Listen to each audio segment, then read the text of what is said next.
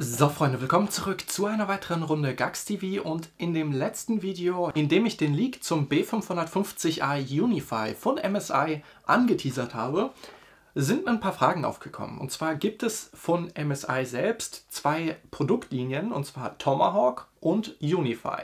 Diese gibt es sowohl für X570 und B550 in zweifacher Ausführung und dementsprechend ja, fragt sich jetzt der Kunde, was soll ich kaufen? Und da ihr bereits mitbekommen habt, auf meinem Kanal an sich gibt es eigentlich primär ITX, Small Form Factor Systeme und äh, eher die Nischenprodukte. Dementsprechend dachte ich mir, wenn ich schon einen ATX-Board da habe, mache ich ein Video für euch dazu.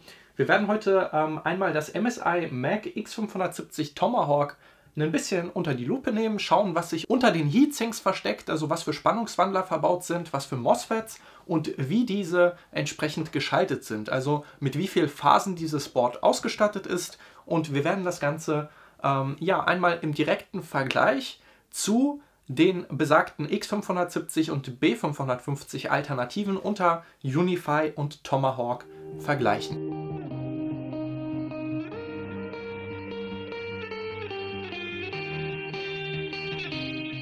Das MSI B550 Tomahawk liegt zwischen 140 und 150 Euro. Ähm, das Äquivalent hier auf X570 ähm, kommt, wie es schon im Namen steht, ja, Wi-Fi mit einem Wi-Fi 6 Modul, sprich wir haben das neueste AX200 Modul verbaut. Entsprechend ist das alleine schon, denke ich, den Aufpreis hier an der Stelle wert, denn ähm, das andere Tomahawk kommt gänzlich ohne WLAN und äh, ja, es ist einfach praktisch zu haben, ob man es nutzt oder nicht, denn vor allem der Preis, ja, bei etwa 180 Euro für dieses Board, jetzt gerade mit Zen 3, eher in Richtung 200 Euro angestiegen, aber nichtsdestotrotz ist es in meinen Augen hier an der Stelle ein faires Preis-Leistungs-Verhältnis, ähm, denn wir werden uns das Ganze anschauen. Dieses Board hier ja, hat nämlich sehr, sehr viel gemeinsam mit dem X570 Unify, das ich bereits auf dem Kanal vorgestellt habe und damals auch meine Empfehlung ausgesprochen habe, wenn ihr einen 12 oder 16 Kerner in Betrieb nehmen wollt, ja, oder vielleicht den 8 Kerner äh, ja, bis ans Limit übertakten wollt. Die Spannungswandler sind enorm. Ja, das MSI X570 Unify ähm, hatte insgesamt 8 Phasen, aber insgesamt 12 60 Amp Power Stages von International Rectifier für die CPU und zwei für die SoC. Dementsprechend sehr solide aufgebaut und der Preis damals und heute, da hat sich eigentlich fast nichts getan, liegt so zwischen 260 und 280 Euro. Das ist eine Stange Geld für das X570 Board, vor allem weil ihr ja das X570 Board für fast 100 Euro günstiger bekommt. Nachdem das X570 Unify so erfolgreich und äh, beliebt war unter der Community, ist jetzt das angekündigte B550 Unify und ja, es gibt zwei Stück, einmal das normale Unify und das Unify X. Ja, das habe ich in meinem letzten Video vergessen gehabt zu erwähnen, dass es zwei gibt. Ja, beide ATX, also beide selber Größenfaktor. Das eine, das Unify X, wie es schon im Namen verrät, ist das Extreme Board, das Overclocking Board, denn dieses Board kommt mit lediglich zwei DIMM-Slots. Genauso wie die EVGA Dark Serie ist dieses für Arbeitsspeicher-Overclocking ausgelegt. Das B550 Unify ohne X kommt identisch aufgebaut. Ja, mit selben Phasen, mit selben PWM-Controller, selbe Optik, selbe Anschlussmöglichkeiten. Ob das jetzt ein normaler Konsument braucht, sei mal dahingestellt. Aber wenn wir so anfangen, ist dann auch wiederum dahingestellt, ob das B550 Unify mit seinen 16 Phasen überhaupt für einen Konsumenten notwendig ist. Ja. Es gibt bereits sehr, sehr gute Alternativen, jedoch das Nonplusultra, ja, nennen wir es mal jetzt äh, den Godlike-Ablöser, ja, da ist das Nonplusultra entsprechend das B550 Unify, denn äh, es kommt entsprechend mit den besagten 16 Phasen daher.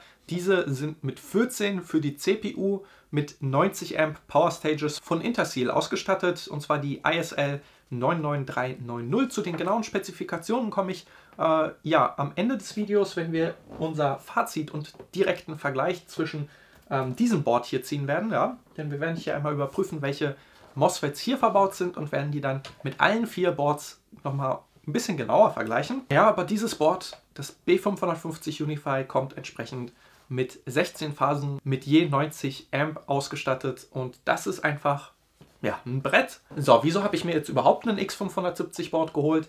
Äh, ganz klar, erstens, das ist nicht mein Board, das ist äh, das Board für einen ähm, ja, Unterstützer des Kanals, denn der ermöglicht mir gerade entsprechend für euch erstens Ryzen 5000 zu testen, äh, denn ich habe den Ryzen 5800X, den 8-Kerner, ähm, den ich entsprechend auf einem äh, Board irgendwie unterbringen musste und der kommt in sein System rein.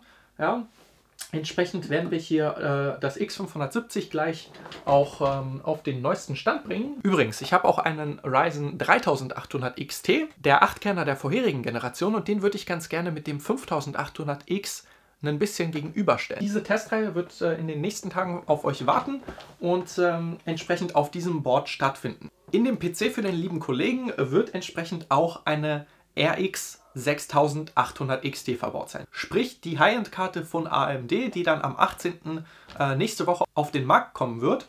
Und dementsprechend habe ich die Möglichkeit, sowohl die neuen CPUs als auch die GPU ähm, ja, für euch zu testen. Ich selber werde erstens erstmal noch ein bisschen länger den Ryzen 3600 verwenden. Äh, mit der CPU bin ich vollkommen zufrieden, aber ich werde nichtsdestotrotz den Ryzen 5600X für euch testen und ähm, was ich mir aber holen werde, die RX 6800 ohne XT. Ja, wenn ich die XT bereits äh, in dem System hier äh, für euch vorstellen kann, ja, dann hole ich mir definitiv die günstigere Variante und somit haben wir einen breit aufgestellten Überblick zu der aktuellsten Hardware, sowohl von Nvidia, denn die RTX 3070 als auch 3080 konnte ich für euch vorstellen und äh, dann entsprechend das Äquivalent von AMD gegenübergestellt, die neuen CPUs, alles soweit auf dem Kanal thematisiert und das macht mich einfach übertrieben glücklich. Dementsprechend bin ich sehr, sehr dankbar, dass ich dem Kollegen hier äh, seinen PC bauen darf. So, und bevor ich jetzt hier mich noch weiter verstricke, ja, wir nehmen die CPUs beiseite und schauen uns das Board hier einmal direkt an. Ja, das ist die Verpackung. Wir sehen direkter Ryzen 3000 Support. Ja, da wurde ich im letzten Video schon ein bisschen drauf angesprochen. Ja, wie sieht es mit nativer Unterstützung für Ryzen 5000 aus? Die ist sozusagen nicht vorhanden, ja, auf keinem Board. Äh, ihr müsst das BIOS updaten, das ist ganz klar. Natürlich werden neu produzierte Boards mit dem aktuellsten BIOS ausgestattet sein und äh, dann entsprechend auch Ryzen 5000 ready sein. Dann würde hier aber auch ein anderer Aufkleber drauf sein. Und äh, das ist gerade hier nicht der Fall. Was werden wir machen? Wir werden äh, das Board ganz einfach ja, flashen. Dafür gibt es von jedem Boardpartner, ob Gigabyte, Asus, ASRock oder MSI, ähm, ja, entsprechend Anleitungen und äh, das Ganze müsst ihr dann über einen USB-Stick regeln. Das Schöne an B550 und X570 ist die Tatsache, dass ihr hier ähm, einen sogenannten BIOS Flashback Button habt. Ja, hier ist das Ganze drauf. Und mit so einem BIOS Flashback Button und einem USB-Stick, auf dem ihr das BIOS draufgezogen habt und nach der Anleitung des Herstellers gegangen seid, könnt ihr, ja, solange dieses Board hier mit Strom versorgt ist, ja, ihr braucht keinen Arbeitsspeicher, ihr braucht keine CPU, keine Grafikkarte, nichts. Ja, ihr braucht lediglich ein Netzteil und das jeweilige Board. Ja, startet das Ganze und dann geht das Board in so eine Schleife rein. Ja? So. Und ihr müsst hierfür dann entsprechend diesen BIOS Flashback Button drücken, während der USB-Stick in dem gekennzeichneten Slot ist. Ja, und dann patcht das Board selbst, ja, ohne CPU, ohne irgendwelche Hardware, das BIOS von dem USB-Stick auf das Board drauf und dann habt ihr das Ganze Ryzen 5000 ready. Ja, müsst ihr natürlich auch das entsprechende BIOS äh, verwenden. Also nagelt mich bitte nicht drauf fest, wenn ihr was falsch macht. Das Ganze ist nämlich sehr einfach, wenn ihr euch an die Anleitung vom Hersteller handelt. Dementsprechend gebe ich sämtliche Verantwortung hier an der Stelle ab. Ja? ich bin nicht für eure Fehler verantwortlich. Das Ganze ist super, super easy. So, jetzt äh, zu dem besagten Board. Ja, das ist die Rückseite. So schaut das Ganze aus. Und wir können hier an der Stelle sehen, was wird beworben. Ja, äh, Extended Heatsink Design, ja, wir haben jetzt äh, bei den meisten MSI-Boards wirkliche Klopper, was die Kühlkörper angeht. Also die bieten definitiv genug Masse und Oberfläche, um die Phasen hier zu kühlen. So, ansonsten, ja, wie die meisten B550 Boards im High-End ist dieses Board sowohl mit 2,5 Gigabit LAN und ähm, Wi-Fi 6 ausgestattet. Sprich, was LAN und WLAN-Verbindung angeht, seid ich hier auf dem top aktuellsten Stand. Ansonsten entsprechend hier mit MSI's Lightning Gen 4 äh, beworben ist entsprechend auch PCIe 4.0 so wie es äh, bei sämtlichen B550 und X570 Boards der Fall ist, entsprechend auch PCIe 4.0 am Start. Sowohl für den PCIe 16 Slot, also für die Grafikkarte, als auch für die M.2 SSDs. Ansonsten RGB und alles, was das Herz begehrt. Den Rest schauen wir uns gleich an, wenn wir das Ganze hier aus der Verpackung genommen haben. Ja. So, lange nicht mehr einen ATX-Board äh, in der Hand gehabt. Ja, es ist wirklich äh, ein Brett für sich. Und wir machen heute auch sehr leger das Ganze äh, im Unboxing hier in einem One-Take. So. Zack. Ja, der Rest kann jetzt auf der Seite. Da haben wir das Board. Wir haben wirklich einen enorm großes Heatsink. Ja. Das Tomahawk hat hier wirklich äh, gefühlt einen Axtkopf drauf, denn daher stammt auch wahrscheinlich der Name. Boah, ja, schaut euch das an. Komplett umschlossen, ja, das IO-Shield schön gecovert und ähm, hier an der Stelle wirklich äh, einfach nur brutal. Ja, ansonsten hier der obere Teil des Heatsinks auch sehr, sehr groß, sehr, sehr massiv und bietet auch schöner finden, ja, als dass hier die Oberfläche äh, möglichst groß gehalten wird. Also das sieht soweit ganz gut aus. Ähm, wir haben entsprechend hier einen 8 plus 4 Pin. Ähm, meines Wissens ist es nicht notwendig, den zusätzlichen 4 Pin ähm, anzuschließen, um das Board betreiben zu können. Das ist eigentlich genauso wie der zusätzliche 8 Pin eher so ein Marketing-Stunt. Ja, die CPUs brauchen nicht mehr als einen 8 Pin ähm, entsprechend, ja, es ist nett, hier diesen zusätzlichen 4-Pin zu haben, aber wirklich notwendig ist er an der Stelle nicht.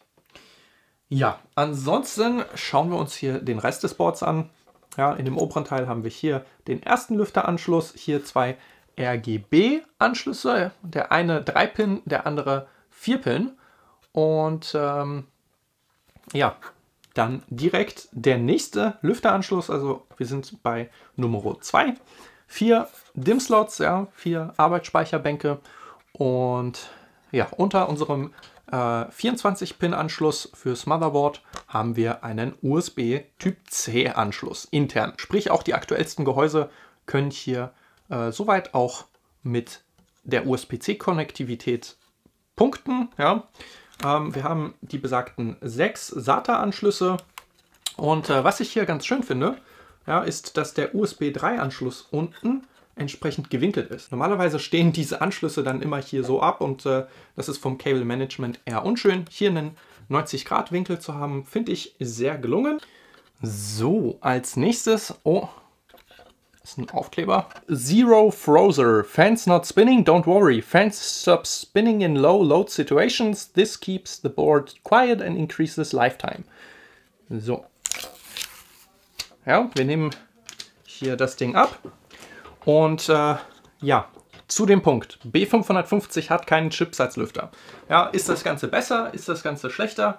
Ähm, sei mal so weit dahingestellt. Aber ich versichere euch, der X570 Chipsatzlüfter, ja, der ist in den aktuellsten BIOS-Versionen der Bordpartner eigentlich so konfiguriert, dass er dauerhaft aus ist. Ja, das Ding läuft passiv und kommt eigentlich nur zum Einsatz, wenn ihr, sagen wir, ein PCIe 4.0 RAID am Laufen habt, also mehrere M.2 SSDs in einem RAID-Verbund und äh, die PCIe 4.0 Geschwindigkeit hier wirklich das Ganze fordert und äh, das Ganze ein bisschen aufheizt. Ja, dafür ist das Ding da, aber ansonsten ähm, ist es wirklich passiv und äh, zu vernachlässigen. Ich würde es wirklich nicht äh, pauschalisieren und sagen, hey, B550 hat keinen Chipsatzlüfter, deswegen kaufe ich mir das jetzt. Ansonsten sehen wir hier unten weiter entsprechend äh, zwei USB 2.0 Header, einen weiteren USB 3.0, einen weiteren 3-Pin RGB-Anschluss und Front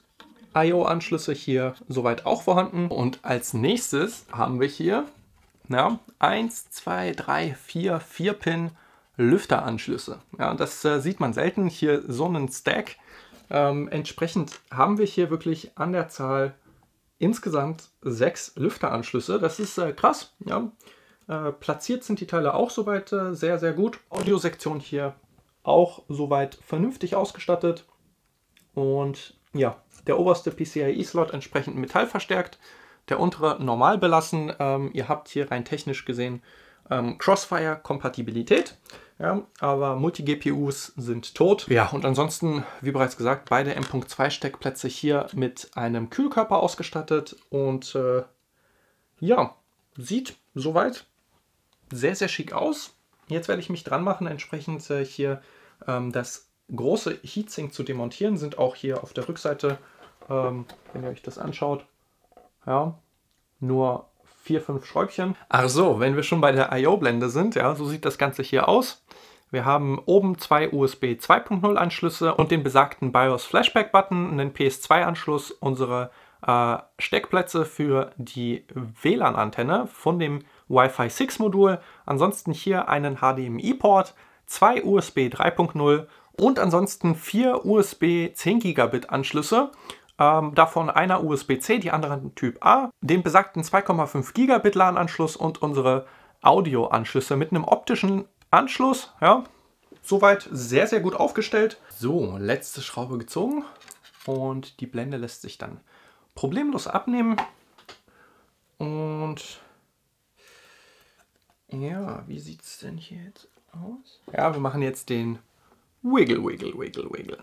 Ja, ein bisschen wackeln, bis sich äh, hier die jeweiligen Wärmeleitpads lösen werden. Zack. So, sieht doch wunderschön aus. Ja, da hat MSI wirklich einen guten Job geleistet, hier das Wärmeleitpad erstens gut anzubringen. Ja, und wir können hier relativ schön sehen, es sind die ISL 99360 und dementsprechend 60 Amp Power Stages. Davon haben wir drei, sechs, neun, zehn. Hier die Reihe durch. Ja, entsprechend vier weitere. Davon gehören zwei noch zu dem Stack hier. Also wir haben zwölf MOSFETs für die CPU-Spannungsversorgung und zwei für die SoC. Entsprechend ist das Ganze hier nach dem PWM-Controller. Ja, haben wir hier nämlich ähm, einen ISL 69247, der auf maximal acht Phasen ausgelegt ist. Äh, auch keine realen zwölf CPU-Phasen, sondern nur sechs. Ja? Äh, das sieht aber bei dem Unify, dem X570 Unify, genauso aus. Ja, und äh, das macht das Board nicht schlechter und nicht besser, ähm, aber hier wirklich ein richtig gutes Gesamtsetup. Ja? Denn zwei MOSFETs pro Phase sind besser als eins. Das muss man immer sich vor Augen führen. Dementsprechend hier ja, von MSI einfach äh, ein grundsolides Board abgeliefert. Äh, ich habe da wirklich nichts dran auszusetzen. Sieht sehr vernünftig aus. Und wie bereits gesagt, mit dem Kühlkörper könnt ihr jemanden erschlagen.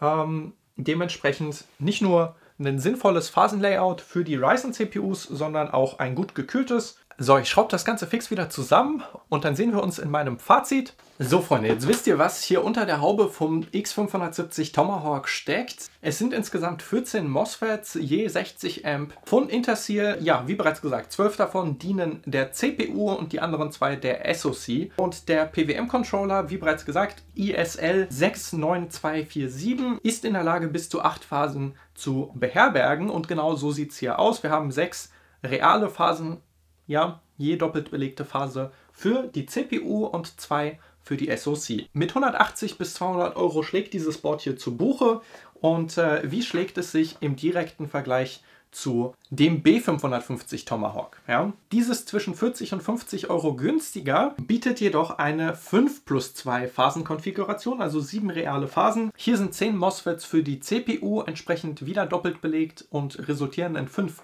realen Phasen mit 60 Amp und dort sind dieselben äh, ISL 99360 MOSFETs drauf verbaut von Interseal und äh, dementsprechend hier ganz ehrlich, ja, mit so einem massiven Heatsink ist der Unterschied marginal, muss man ganz ehrlich sagen. Ähm, an der Stelle, ob jetzt 5 plus 2 oder 6 plus 2 äh, mit so einem starken Phasenlayout, das äh, ist dann an der Stelle schon wirklich zu vernachlässigen, muss man ganz ehrlich sagen. Ähm, ich würde es davon abhängig machen, ja, seid ihr davon überzeugt, dass ihr hier äh, das Wi-Fi 6 Modul gebrauchen könnt, ja, rechnet dort so äh, 10 bis 20 Euro wert. Ansonsten unterscheiden sich diese Boards eigentlich fast gar nicht. Dementsprechend meine Entscheidung wäre das X570 Board. Ja, alleine wegen des Wi-Fi-Moduls ist es mir immer an der Stelle äh, den Aufpreis wert. Es bietet einfach die physisch bessere Ausstattung, muss man ganz ehrlich sagen. Wenn ihr das beste Preis-Leistungs-Verhältnis haben wollt, dann ähm, seid ihr beim B550 Tomahawk natürlich besser aufgestellt und verzichtet dort auch gänzlich auf den Lüfter. Nur wie bereits gesagt, ist auch beim X570 dieser eigentlich immer passiv. Ja, wie sieht es dann im direkten Vergleich zum Unify aus? 100 Euro teurer und abgesehen davon, dass der Hersteller der MOSFETs ein anderer ist, denn dort werden International Rectifier 60 Amp Stages verwendet. 60 Amp bleiben 60 Amp. Dementsprechend, ob Interseal oder International Rectifier macht an der Stelle hier keinen Unterschied. Ähm, es sind 6 plus 2 Phasen, genauso wie hier beim Tomahawk. Und äh, dementsprechend, abgesehen davon, dass das Unify einheitlich schwarz ist und dieses hier schwarz-grau, ja, zahlt ihr hier 100 Euro für nichts. Man muss aber auch ganz klar sagen, das Unify ist schon länger draußen als das Tomahawk. Sprich, äh, wer damals sich einen Unify gekauft hat, hat es getan aufgrund der damaligen Ausstattung und dem Preisunterschied zu dem Ace X570 Motherboard von MSI, das damals nochmal eine Ecke mehr gekostet hat, ich glaube 350 Euro. Äh, dementsprechend ist diese Entwicklung, ja, theoretisch dasselbe Board ja, von der Kernkonfiguration, von, dem, äh, von der Ausstattung in abgespeckteren Ausführungen an den Kunden zu bringen, schon eine krasse Nummer. Also so ein gut ausgestattetes Board äh, dann letztendlich für unter 200 Euro bieten zu können, ähm, muss man hier an der Stelle MSI auf jeden Fall äh, hoch anrechnen, definitiv. Ähm, wie sieht es jetzt mit dem von mir so ein bisschen in den Hintergrund gestellten B550 Unify und Unify X aus. Jeder, der hofft, hier ein günstigeres B550 Board zu bekommen, ja, mit 16 Phasen, 90 Amp Power Stages, der lebt leider nicht in der Realität. Ich versichere euch, das B550 Unify wird über 300 Euro kosten, wenn nicht sogar 400. Ja, das soll ein Enthusiastenprodukt sein, das entsprechend äh, ja, über dem X570 Unify stehen wird. Wenn ihr die Überlegung habt, X570, welches? Dann nehmt euch das Tomahawk, denn das bietet dasselbe wie das X570 Unify, nur knapp 100 Euro günstiger. Wenn es B550 und kompromisslos sein soll, dann ist natürlich das B550 Unify eine nette Sache. Ob ihr es braucht, ja, sei mal jetzt sehr stark dahingestellt. Äh, ich würde mal sagen, nein. Ja, ansonsten macht so ein kompletter Overkill keinen Sinn. Ja, äh, dafür gibt es einfach bereits äh, deutlich mehr und deutlich günstigere Alternativen. Dazu gehört das X570 Tomahawk. Ich hoffe, das Video hat euch hier soweit weitergeholfen und bis dahin danke ich euch erstmal fürs Einschalten. Wir sehen uns dann das nächste Mal zu einer weiteren Runde GAX TV. Spätestens, wenn mein B450 Board entsprechend auch Zen 3 Support hat. Also, bis dahin, Gaming Fitness, Let's You See und GaxTV.